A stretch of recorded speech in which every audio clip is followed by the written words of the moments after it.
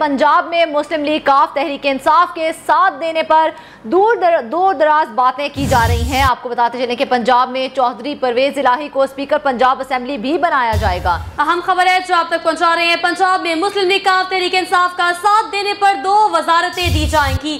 پنجاب میں چوہدری پرویز الہی کو سپیکر پنجاب اسمبلی بھی بنایا جائے گا۔ اسی پر مزید بات کریں گے۔ ہمارے ساتھ لائن پر موجود ہے لاہورہ کی bureau chief Ayaz Shuja ji Ayaz Shuja update کیجیے گا۔ دو وزارتیں دی جائیں گی۔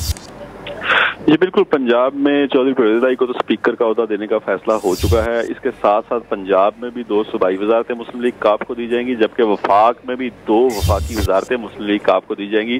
اور مسلم لیگ کاف کی جانب سے طارق بشیر چیمہ کو فوری طور پر وفاقی وزیر بنایا جائے گا یعنی وہ اسی وفاقی کیبنٹ کے ساتھ حلف اٹھائیں گے، جبکہ مونس رائی جو ہیں وہ بعد میں حلف اٹھائیں گے۔ اس طرح دو وفاقی وزارتیں وفاق میں اور دو صوبائی وزارتیں پنجاب میں اور پنجاب اسمبلی کے سپیکرشپ جو ہے مسلم لیگ کاف کو یہ مسلم پی ٹی آئی کی جانب سے اگلی حکومت میں یہ عہدے اور یہ وزارتیں دی جائیں گی۔ جی۔ جی ایاز شجا بہت شکریہ آپ کا، آپ نے ہمیں اپڈیٹ کیا۔